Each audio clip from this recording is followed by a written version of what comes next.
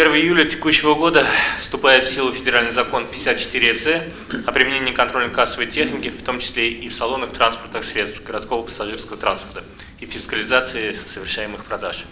В исполнении закона, а также поручения президента Республики Татарстан Рустама Нургалевича Миниханова по увеличению доли безналичных платежей автотранспортными предприятиями города совместно с Акбарсбанком все автобусы оснащены новыми устройствами проверки проездных документов.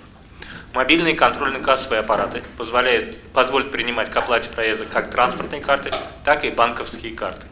В апреле-мае текущего года все перевозчики провели обучение кондукторов по работе с данными устройствами.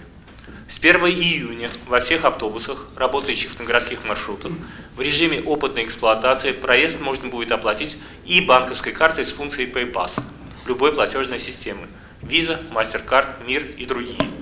Режим опытной эксплуатации продлится один месяц, в течение которого будет происходить отладка взаимодействия систем и всех причастных структур.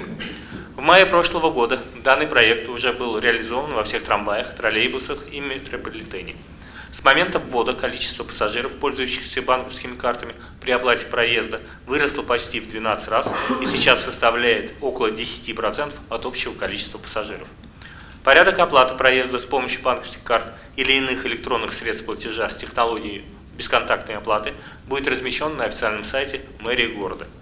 Стоимость разовой поездки при оплате проезда в салоне транспортного средства банковской карты в соответствии с постановлением Государственного комитета Республики Татарстан по тарифам будет составлять 27 рублей. Спасибо за внимание.